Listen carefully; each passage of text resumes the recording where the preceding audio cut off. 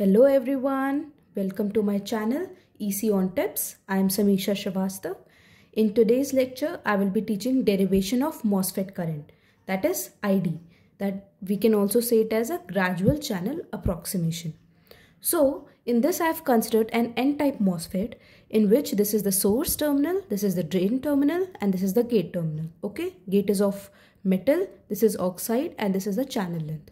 Okay, and here this voltage across the drain terminal is considered to be as VDS and the voltage across the gate terminal is considered as VGS and the voltage across the source terminal we have grounded.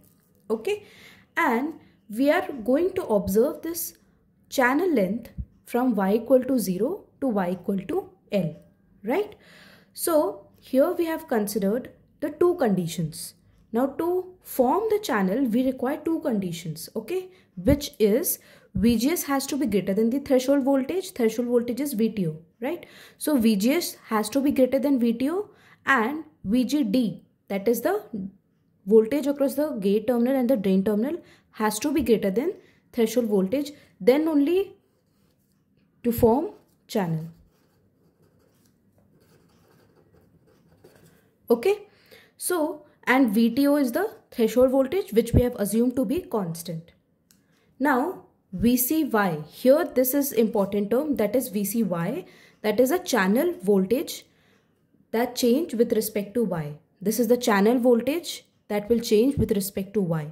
If we consider this VC at Y equal to 0 that is at the source terminal and source terminal is grounded. Hence this value of VCY equal to 0 that will be equal to 0 right and VC at this point what you will see that is the VDS and hence its value is VDS okay and now if we talk about the electric field component in Y direction electric field component in Y direction that will be definitely dominant as compared to the X direction okay because here it is variation is more in the electric field as compared to in the x direction. So the current will flow from y equal to 0 to y equal to 1 because electric field component is more dominant in the y direction. Now the charge density is considered that is represented by QI y and QI y is given by the formula that is minus COX VGS minus VCY minus VTO okay? And now if we calculate the net voltage across the source terminal that is the net voltage across the source terminal that is in this area what will be the net voltage vcy will be 0 okay? So this value will become 0 so now what will be the voltage will become as vgs minus vto because this term is 0 right? And now net voltage at the drain terminal. At drain terminal what you will observe? This vds okay? So this vds will come as like this okay?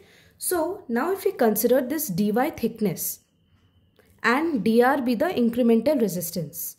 Okay so if we consider this is the source terminal this is the drain terminal here we will be having the gate terminal but we have considered the cross section area of here.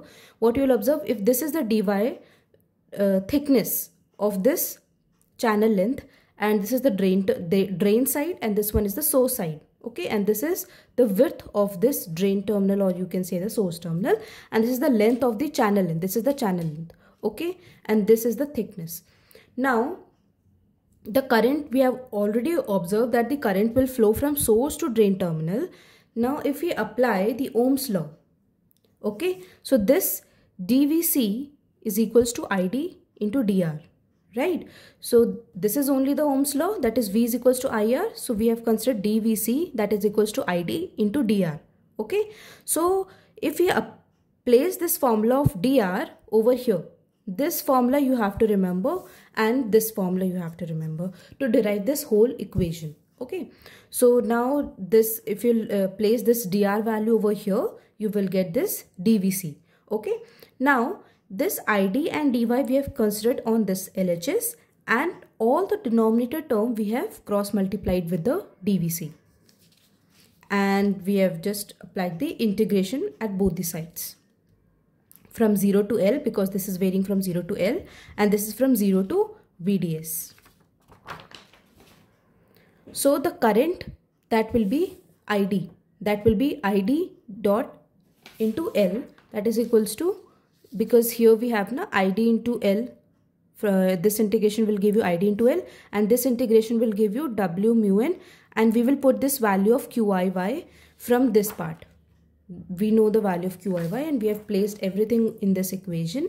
And now if you will solve further you will get id is equals to mu n cox w by l. And this is our constant term. These two are our constant terms. So we have placed it over here. And this is dvc minus vc into dvc okay this is variable term and this is whole constant term. So you can bring that bracket out. So if you'll take that out you will get here vc only and here you will get vc squared divided by 2 because this is variable. And the whole limit will be from 0 to vds okay? And now if you will place this limit you will get this formula of id and this is the derivation of id okay? And this formula you have to learn. It's very important for the numerical point of view.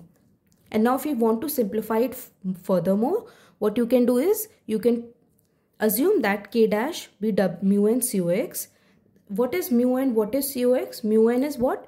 It is the mobility of the electron. And what is cox cox is the capacitance of oxide. Okay? And this whole term we can consider it as k.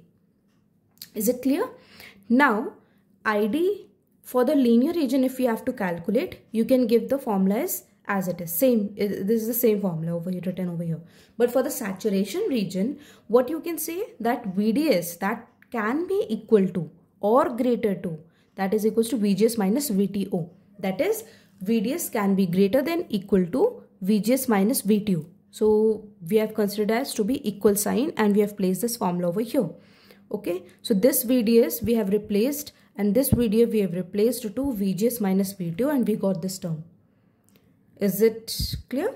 Now, you have to remember this thing. This is the very important thing for all the point of views that is a numerical one, the derivation one. This you have to remember that in the linear region, this VDS has to be less than VGS minus VTO and in saturation region, VDS has to be greater than equal to VGS minus VTO.